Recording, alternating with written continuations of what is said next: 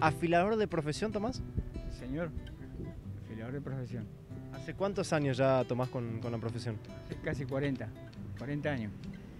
Voy por todo donde me llamas, porque voy dejando mi número de teléfono y, y ahí me recomiendan. Ahí me llaman allá por, Sarmi- por la Sarmiento, por, por todos lados me llaman. Hay veces, uh.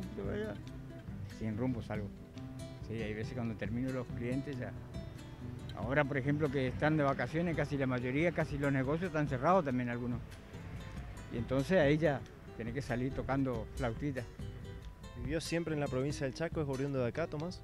Soy de acá, de- no, yo soy correntino, pero me crié acá en el, acá en el Chaco.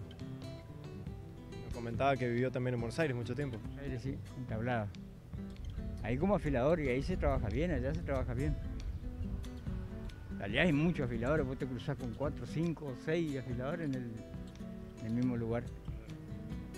Pero hay que, hay que saber nada más. Y aprendí porque mis parientes, ah, cuando fui de acá, me fui con una mano atrás y adelante. Y ya tenía mi familia, por supuesto. Y ahí dijeron, bueno, ¿por qué no te haces una? Y salí, no tenía vergüenza, no quería hacer, no quería hacer. Volví a traer, ¿qué hiciste? ¿Hiciste algo? No, no hice nada, no, vamos a ir con nosotros.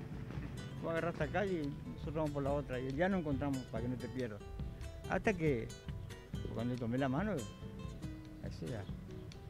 Y, ahí, más te va perfeccionando, ¿viste? Más aprendés, más mejor hacer y entonces después ya. Acá en Resistencia, Tomás, ¿está usted solo? ¿Hay otros afiladores o no? Sí, hay unos cuantos. Hay dos o tres muchachitos jóvenes. Nada más que tienen que aprender un poquito. Eso sí, sí. Porque por ahí le dicen, le, llego y ¿quién lo afiló?